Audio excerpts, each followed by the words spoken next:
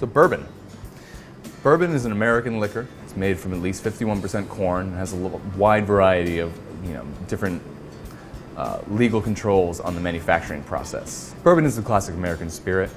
Uh, it takes the things that we're best at, like growing corn and shipping things, and turns it into booze. It's made mostly from corn, uh, primarily. Some, no, none of them makes it from 100% corn because that's terribly nasty.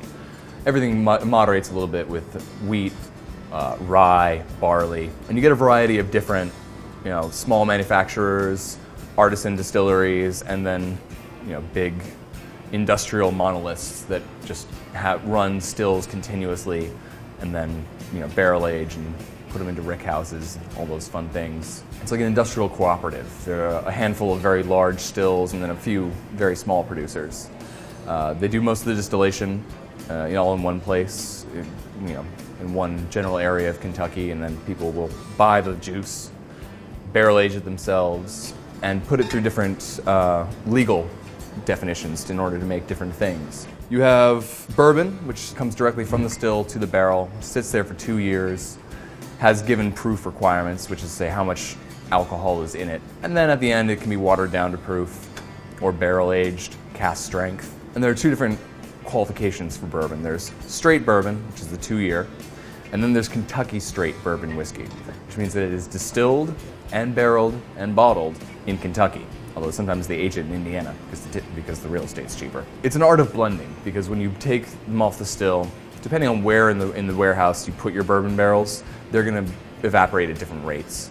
You know, higher up, it's hotter, you'll lose more of the alcohol. Lower down, it's cooler, but you won't get as much of the barrel flavor because you won't have the same expansions and contractions of the wood. So it, it really takes a master distiller's hand to blend them together and really get a consistently excellent product. And some bourbons, you know, whether the Kentucky straight bourbon whiskeys, some of them are doing more interesting things these days. Once it's legally qualified to be Kentucky straight bourbon whiskey, for instance, this one's finished in port barrels afterwards to give an extra nuance of flavor to the ending and mitigate a little bit of the heat of the alcohol. The interesting thing about the bourbon barrels is they can only be used once. Uh, legally, it has to be new charred American oak. It started as uh, something to actually protect the Coopers Union, uh, not the one downtown, the Coopers Union in you know the southeast that actually makes the barrels. Once a barrel's been used for bourbon, it can't be reused to legally make bourbons. They ship them off to a lot of other places around the world to use as barrel aging.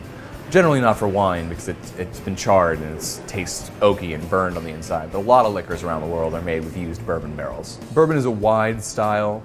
Uh, it's a good one for people who are just trying to get into, you know, drinking new liquors and trying new things because you know, you can tell a good bourbon from a bad bourbon real quick, but in the end, there really is no such thing as a bad bourbon. My, you know, my favorite bourbon is generally the one in front of me, uh, or all of them in front of me, in fact. And that's a quick summary of bourbon, corn whiskey.